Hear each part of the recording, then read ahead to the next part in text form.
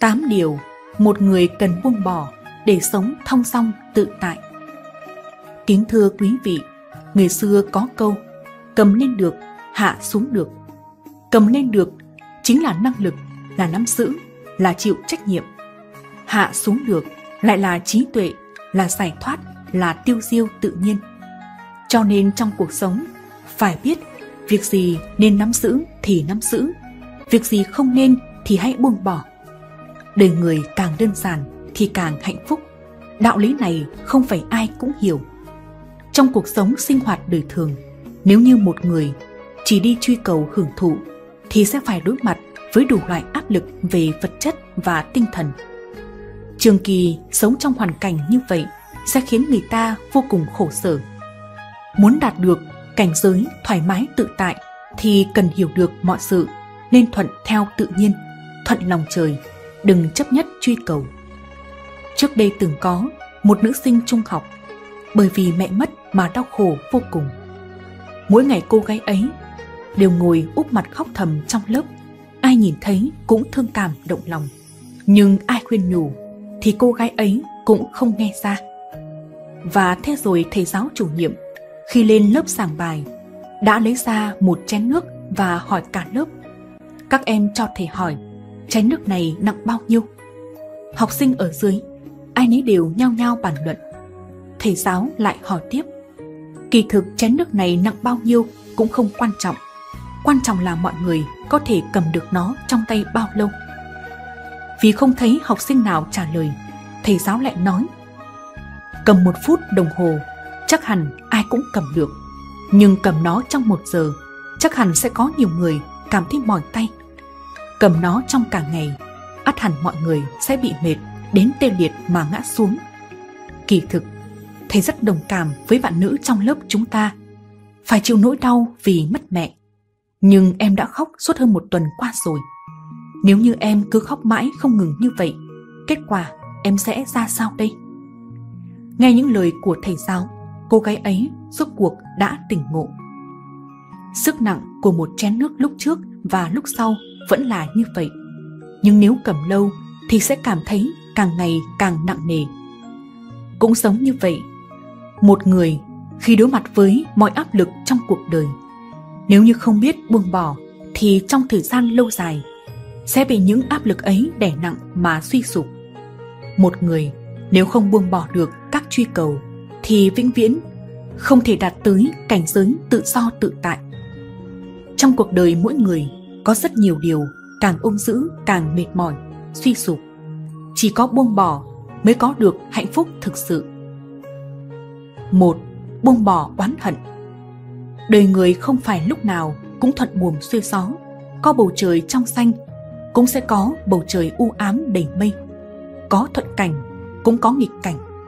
Bất kể điều gì không hài lòng, thì đều là một loại khảo nghiệm, thử thách, một cách tôi luyện. Oán hận không thể giải quyết được vấn đề, chỉ làm tăng thêm sự phiền não. Oán hận sẽ làm giảm nhân cách, làm giảm nhiệt huyết và tiêu diệt ý chí của một người. 2. Buông bỏ phiền não Những việc không được như ý trong cuộc sống thật là nhiều. Phiền não mỗi ngày đều xuất hiện. Chúng ta nên làm gì? Hết thầy nên thuận theo tự nhiên. Việc gì xảy ra cũng dùng sự bình tĩnh để đối đãi thì phiền não cũng sẽ tiêu tan. Có rất nhiều sự tình, tốt hay xấu, đều được quyết định bởi tâm thái của chúng ta. Nếu chúng ta coi những điều đó là để tu luyện bản thân thì sẽ từ trong đó mà đề cao lên được. Nhưng nếu chúng ta cảm thấy đó là phiền não thì tự nhiên áp lực đè nén lên sẽ tăng gấp đôi. Bởi vậy, những sự tình có khả năng giải quyết thì tận lực đi giải quyết. Những sự tình nằm ngoài khả năng của bản thân thì nên để nó thuận theo tự nhiên 3. Buông bỏ ích kỷ Những người luôn lấy mình làm trung tâm là người ích kỷ. Những điều họ muốn đều là vì bản thân họ, không bận tâm tới cảm nhận của người khác. Họ luôn cảm thấy bản thân mình là đúng và không muốn nghe người khác góp ý. Điều này thì trong mỗi người đều có, chỉ là ít hay nhiều. Hãy buông bỏ lòng ích kỷ, đứng vào vị trí của người khác, hoán đổi suy nghĩ chúng ta sẽ nhận thấy rằng tâm của mình càng ngày càng rộng mở, con đường đời càng ngày càng tươi đẹp. 4. Buông bỏ nóng giận Có câu, nổi giận là bản năng, kiểm soát nóng giận là bản lĩnh. Người ta ở vào lúc nóng giận sẽ không lý trí, nói ra những lời làm tổn thương người khác. Nhẹ thì làm tổn thương hỏa khí hai bên, nặng thì sẽ mang tới điều bất hạnh. Khi một người nóng giận, trước hết không nên nói. Hãy hít một hơi thật sâu, làm giảm một chút cảm xúc. Một người có cảm xúc ổn định thì vẻ mặt thường sẽ ôn hòa, khiến cho người khác dễ chịu, giống như được một cơn gió mát thổi qua, giúp mọi người xích lại gần nhau hơn. Trái lại, một người động chút là nổi giận thì sẽ giống như cơn sông tố, ai ai vừa gặp cũng đều trốn tránh. 5. Buông bỏ lười biếng Một người lười biếng thường có tâm lý ỉ lại và muốn an phận ở trạng thái hiện tại. Không có ý chí tiến thủ, làm việc quả quyết, được chăng hay chớ, làm cho xong chuyện. Muốn có một tương lai tốt đẹp thì cần phải cố gắng nỗ lực bản thân, dốc sức làm việc. Siêng năng cần cù là điều cần thiết tất yếu của thành công. 6.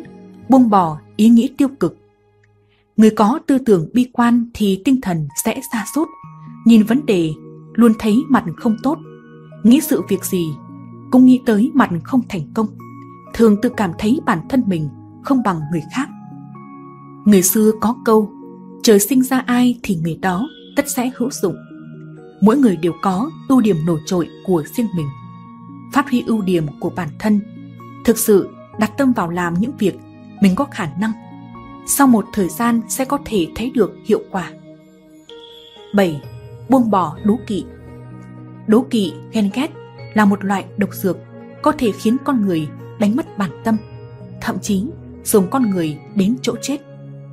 Đố kỵ sẽ gặm nhấm dần bản tính của một người, khiến cho người đó trong đầu tràn ngập ác niệm, trong nội tâm không an định. Người khác cũng thời khắc đề phòng, lánh xa.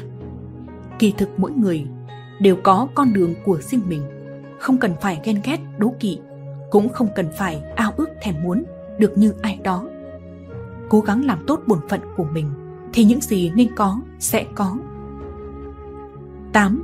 Buông bỏ lòng tham Người ta thường có rất nhiều dục vọng, tham niệm Tham của cải, tiền tài, mê sắc dục, ham hưởng thụ Thậm chí, ngày nay người ta còn mong muốn nhận nhiều của cải phi nghĩa Khiến đạo đức ngày càng suy đồi Người có nhiều tham niệm thì trong lòng sẽ bất an. Người xưa nói, trong tâm cảm thấy đủ thì mọi sự liền sung túc. Trong tâm có lòng tham liền cảm thấy thiếu thốn đủ về Chỉ khi biết đủ thì con người mới sống được hạnh phúc, mới cảm nhận được vẻ đẹp của vạn vật trong cuộc sống, tránh được tai họa bởi lòng tham mang tới.